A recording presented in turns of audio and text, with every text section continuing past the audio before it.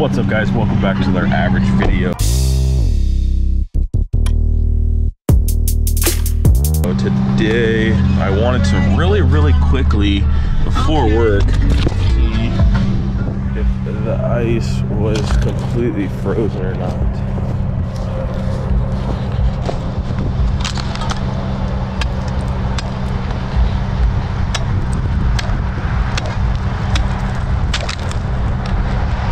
Oh yeah, that's a good two, three inches or so. And this is just frozen in the last like probably yeah, it's about two or three inches. And this is frozen in just the last couple of days. Um, I don't think that somebody should be, this is just a small pond too. It's only about three, four, five foot deep or so. But that's good news. I'm in Ankeny right now. So Ankeny's like kind of central Iowa, I guess. So that's pretty exciting because maybe some of the northern lakes and stuff are actually frozen uh, over better now. So I'm gonna hop back in my truck and get back to work. But I just wanted to check that this morning when it was still cold and light out. So we'll stick stick with me. Stay tuned. We'll see you tonight.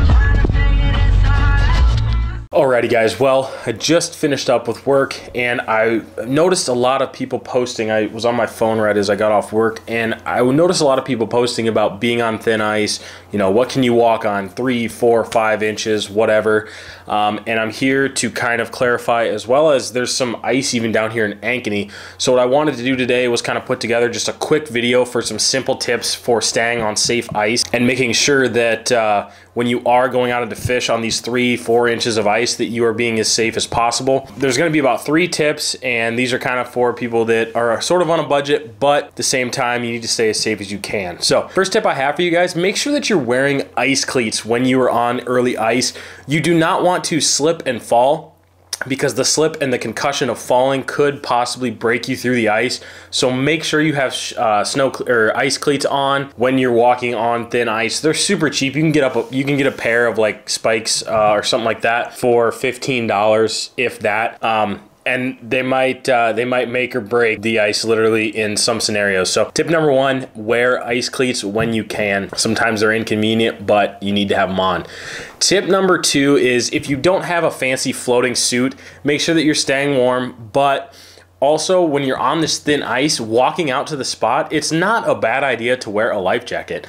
Um, it might look kind of dorky and you might say that that looks dumb or it's a dumb idea but there have been times where i'm walking on three inches of ice and you don't know when it could change from that three to two. You could you could be still poking and it's hard to tell exactly with a spud bar how thick that ice is. You know, one punch could go through two inches, one hard punch could also go through three, three and a half. So it's not a bad idea that if you are going to be uh, ice fishing this weekend or tonight or soon or whenever, make sure to maybe wear a life jacket. You don't have to, but I, I, I recommend it in scenarios where that's your only choice. You don't have a floating suit. Tip number two. All right, tip number three is going to be a uh, pretty simple one, but it could save your life in certain scenarios.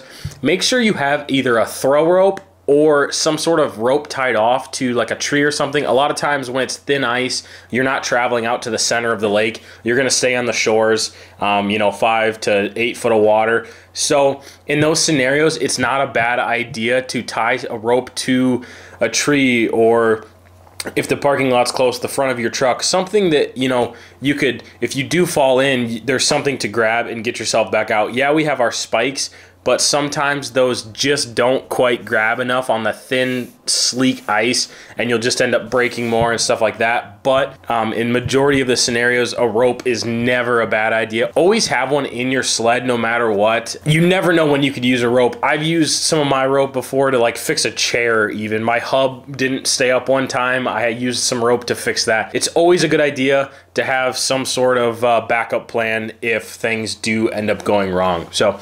I hope you guys enjoyed this. Um, I'm going to be try to be staying up on the ice. It looks like north of Metro is pretty safe ice in Minnesota, as well as there's even some some good ice here in Iowa. Clear Lake's my hometown, and I've been hearing from a lot of guys that there's possibly six inches in some areas on the lake. So those are perfectly good fishable areas. I've, I had a buddy go out and he caught some perch the other weekend. So stay safe out there, but have a good time, and uh, yeah, we will see you guys in the next one. This was kind of a quick video, but I wanted to just mention those safety tips um, just to keep precautionary measures when you are traveling out onto this thin ice.